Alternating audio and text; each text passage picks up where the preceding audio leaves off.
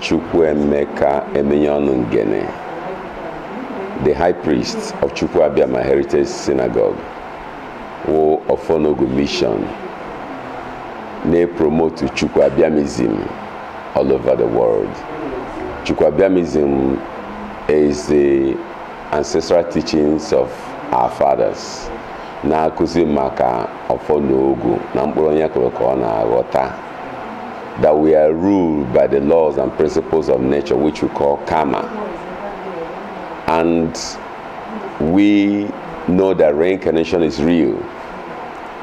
That whatsoever we see happening around us or every experience of our life are the results of the actions we took in our past incarnations. And that we can only solve our present situation by going back to find out our past life antecedents and the deliberate efforts we must take to realign the energies of past life. So now na-eme n'obodo anyị this ritual killing many of these people were people who have died uh, by such circumstances and so they come by they are connected to those people ndị gburu ha gwa ndị ọzọ ahụ alụ ahụ. Or sometimes njụ ese ndị egburu ike ife ma eji wegbue asị na onye agbuli ya bụ onye o gburu n'ụwa mbụ. Like during the war lots of people engaged in the battlefront.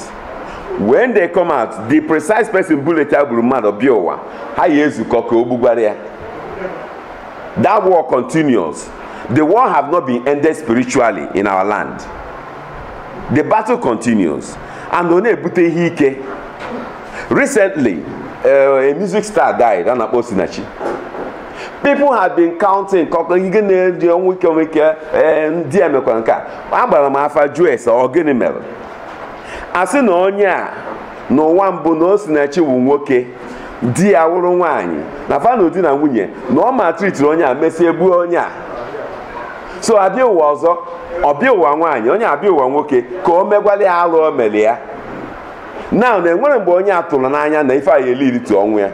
And na na onwe ya na-enweta ife a na nlọ kwa mgbe kwa mgbe na-enwetagasị ozi mana ọ marọ ife omenala.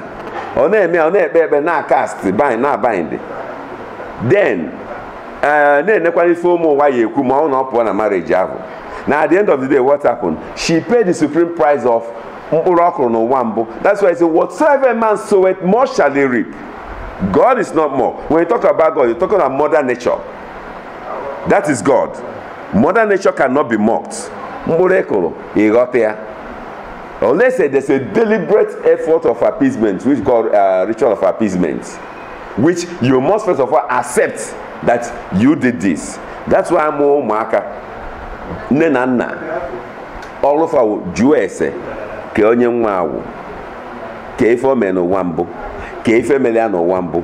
Onye nwụrụ ọnwụ ike n'ụwa mbụ. Ka ife a eme ka ọnwa ghara enwe ike aghara igbupụ ya.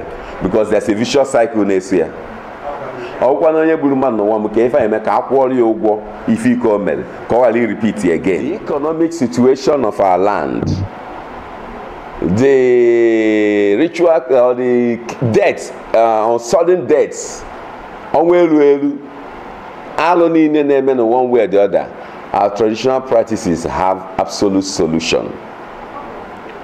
Akpụ alụ ife ike emedere.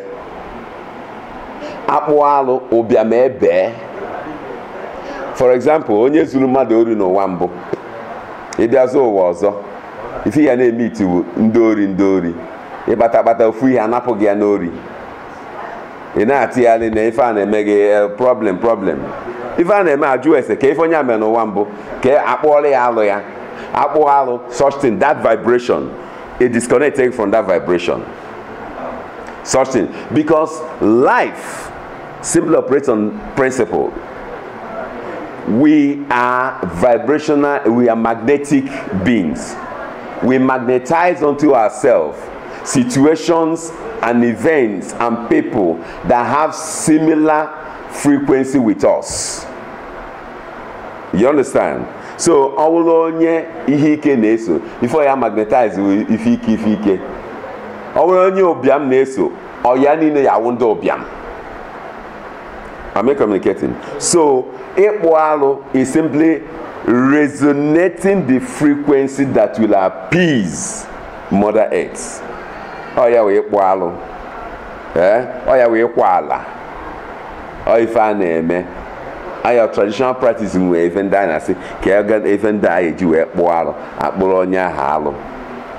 Ife ahụ ebe akpọrọ obodo alụ ife ike ebe n'obodo.